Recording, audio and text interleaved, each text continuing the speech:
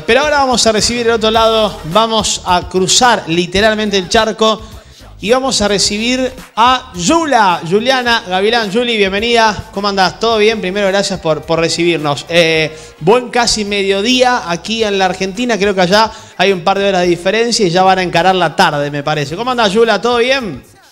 Hola, buenos días para ustedes. Y sí, la verdad que todo muy bien. Acá ya son casi las 4 de la tarde. Así que nada, disfrutando, yo ahora estoy un poco de vacaciones, así que aprovechando eso, pero, pero todo muy bien. Bueno, eh, Yula, ¿cómo, ¿cómo, te encuentra un poco esta, esta candidatura eh, por tu actividad deportiva, por destacarte en tu actividad deportiva? ¿Cómo, cómo la tomás teniendo en cuenta que sos eh, de nuestra provincia, villamariense, que has tenido tu paso por, por España? Eh, hoy por hoy militando un poco el deporte en Francia, de vacaciones, si no me equivoco, en España. Me han pasado un poco de data tuya, Yula. Entonces digo, eh, no me quiero quedar con la primera pregunta, tu candidatura, porque imagino que atrás de todo esto, eh, Yula, hay un gran laburo y un gran esfuerzo, ¿no? Sí, bueno, yo creo que, todos los deportistas de, Argentina hoy en día, por ahí, que, que buscan irse a Europa o buscar crecer la carrera deportiva, que fue por lo que yo me fui hace tres años. Eh, hoy en día está trayendo también sus frutos. Eh, qué yo, particularmente soy la primera argentina y única argentina que está jugando en la primera división francesa, que eso la verdad que no es poca cosa, que yo cuando era chiquita y recién empecé lo veía como algo, no sé, como un sueño, viste, decir, poder estar compartiendo un mismo club con, con grandes jugadoras, porque tengan mucha historia y poder estar también ahí la verdad que bueno, que me, que me hace creer que, todo ese proceso, como decís vos, que no es algo cortito, sino que fue bastante largo, eh, hoy está trayendo también su fruto, qué sé yo, todo, todo el tema de la cuarentena, de la pandemia también eh, para los deportistas es muy, es muy complicado y fue muy difícil porque al estar acostumbrados a tener una planificación anual en donde uno ya sabe cómo va a ser todo su año, que te cambie totalmente, el estar lejos de casa, el estar ahora eh, en otro país, con otro idioma, otra cultura, pero, pero bueno, la verdad que, hoy estoy muy contenta, estoy aprendiendo muchísimo y, bueno, espero poder seguir acá un poco más de tiempo también. Eh, le te consulto, ¿cómo fue que te enteraste de, esta candidatura eh, y, cómo lo estás viviendo a este lindo momento que te entrega tu actividad deportiva?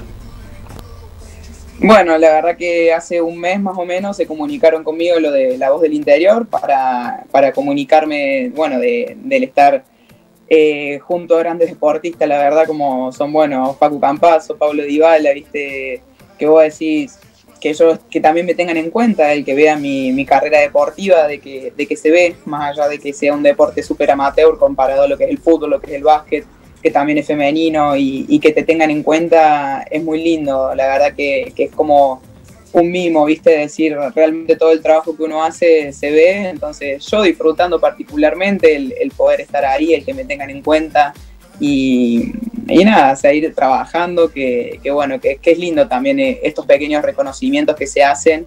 Eh, para que la gente también vea y sepa que, hay muchos deportes, que hay muchos deportistas fuera, que, y que no son solamente esos nombres tan conocidos. Así que para mí la verdad que es una alegría muy grande. Eh, Yula, a ver, eh, ¿cómo, te encontrás hoy eh, militando la, Liga de Francia, eh, con tu paso por, por, España, con, toda tu escuela aquí en nuestro país?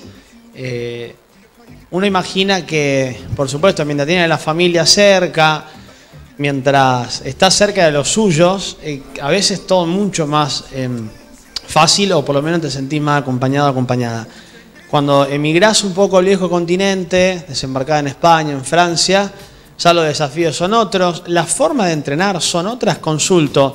Eh, ¿Te has podido moldar bien? ¿Te has adaptado bien? ¿Cambia un poco el juego? ¿Qué nos podés contar respecto a eso? Bueno, yo los primeros años que estuve en España, eh, ya al dar ese pasito de, bueno, vivirlo profesionalmente, eh, fue algo que viste que al principio no caes, porque yo al estar en Villa María, entrenando en el Nacional, con frío, con las pelotas, eh, qué sé yo, que uno ya pague para jugar, y que uno viene acá y realmente te pagan por tu trabajo, porque acá es un trabajo, que tenés un contrato en donde te dan tu casa, te dan todo.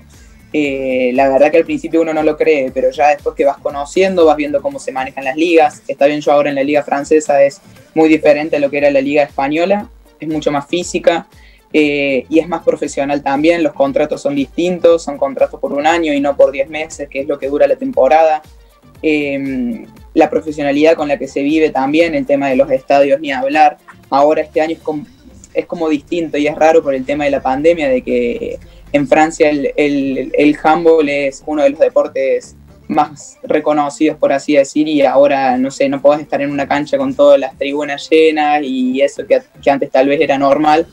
Eh, pero bueno, se, se, ve de otra manera. Yo cuando llegué en julio, que yo llegué en julio a Marsella, eh, me costó totalmente eh, los primeros dos o tres meses en el, el cambio de, de, ritmo, sobre todo que el físico yo creo que son dos o tres veces más de lo que es en España.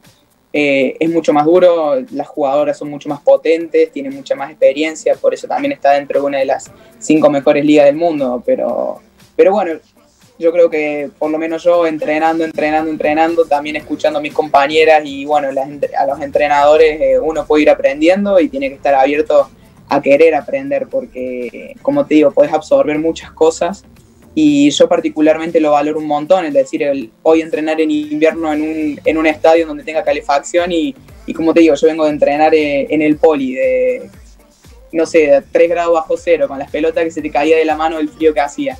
Entonces yo creo que los europeos a eso no lo viven y es lo que nos representa a los argentinos, al estar en un lugar que, que literal no te falta nada y venir de un lugar en donde uno trabajaba mucho para tener las pequeñas cosas, para tener, aunque sea, no sé, una camiseta para jugar.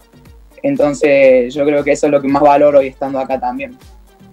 Lula, eh, uno, uno creo en la vida deportivamente hablando, eh, y en otro aspecto también, pero dentro de lo deportivo, uno va buscando superarse siempre. Eh, y bueno, claramente charlando con vos, lo, lo, lo venís haciendo, hay un esfuerzo, hay una dedicación hay una perseverancia, una constancia, pero a su vez también sé que hay miradas a otros objetivos dentro del deporte, como los Juegos Olímpicos, la instalación del deporte. ¿Qué me puedes contar respecto a eso también? Que, sé que es un camino que, que, se abre y que también puede dar muchos frutos de aquí a, en adelante. Sí, tal cual, como decís vos, a ver, por lo menos yo particularmente como deportista, eh, como año a año, temporada a temporada, me voy proponiendo objetivos y ya al estar viviéndolos y ver que realmente puedo estar cerca de algunos, eh, se van, como se agrandan eso, porque vas cumpliéndolo y vas diciendo, bueno, por lo menos yo no me, como que siempre quiero más, ¿viste? El decir, bueno, estoy acá, pero yo sé que puedo hacer esto de tal manera para que me vaya un poco mejor. A nivel de selección, eh, ahora en marzo, si todo sigue bien, se jugaría el preolímpico para poder clasificar a, a, bueno, a lo que va a ser Tokio, que, a todo deportista argentino, por lo menos para mí, sería un sueño poder vivir una Olimpiada. Entonces, que también es, difícil el, complementar lo que es el club a lo que es la selección, porque nosotros, por ejemplo, ahora no podemos estar entrenando con la selección porque entrenan en Buenos Aires y a mí el club no, no, me deja irme para entrenar con la selección y volver. Tiene que haber una citación oficial en donde te mande todos los, lo que sea el tema de los pasajes y demás, y hoy en día en cómo está todo con el tema de la pandemia es complicado, entonces no me he podido volver para entrenar, entonces, qué sé yo, esperemos que, que ahora también se vaya acomodando un poco eso, porque no hay nada más lindo que representar a tu país que, como hicimos también ahora en el Mundial en diciembre, en el diciembre pasado, que fuimos a Japón. Y, y, bueno, poco a poco el handball argentino también va creciendo porque hay muchas jugadoras que se están yendo a Europa a jugar, que yo creo que, que en Argentina hay un techo con esto de que digo que el deporte es amateur, que no puede vivir de ello.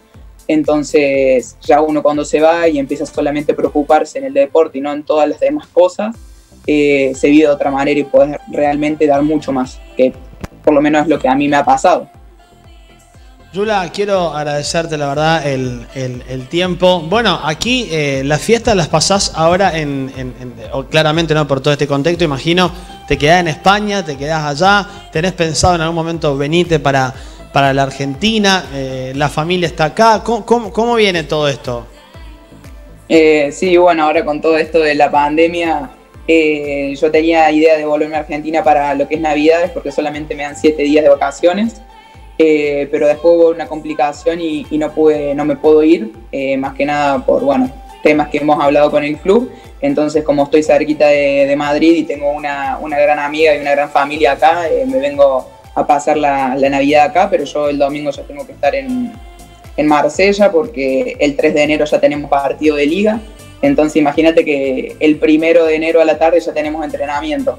Eh, pero bueno, mi mamá viene ahora a visitarme también a, a, Marsella, entonces voy a poder tener un poquito de familia, porque yo con todo esto de, de la, del coronavirus no me puedo volver y hace ya casi dos años que no me voy para Argentina, que bueno, que es mucho tiempo y, y se echa muchísimo de menos, pero, pero para mí ellos son mi pilar y siempre saben estar cerca a su manera, más allá que no físicamente como me encantaría a mí, eh, pero me acompañan en todo, me, me, empujan siempre para adelante porque un deportista tiene muchos momentos difíciles también que son los que menos se ven, pero realmente ahí es cuando está la familia, los que te tiran para adelante y decir, también este, es tu sueño, es mi trabajo y puedo vivir de esto, así que sin ellos claramente, que por más que no estén físicamente, están conmigo en todos lados, así que estoy deseando, si todo va bien, ahora va a ser difícil volver, pero cuando termine la temporada en mayo, ahí ya tendré un mes y medio casi de vacaciones hasta, hasta que empiece después de nuevo todo. todo. Yula, quiero agradecerte mucho, hermosas palabras para, para, la familia que seguramente está viendo, va a ver esta nota.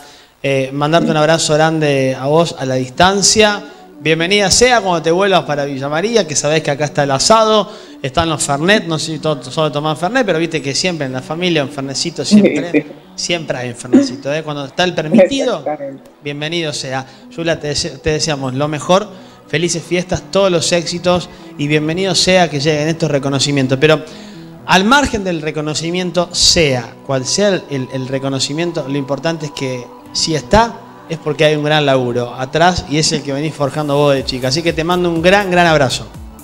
Bueno, muchísimas gracias a ustedes por, por invitarme al programa. La verdad que, bueno, para mí Villa María es todo, así que es un orgullo poder estar con ustedes acá charlando. Les mando un abrazo muy grande y ojalá que cuando ande por ahí pueda estar en el estudio y charlando un poco más. Así que les mando un abrazo gigante y muchísimas gracias y felices fiestas, que terminen muy bien este año.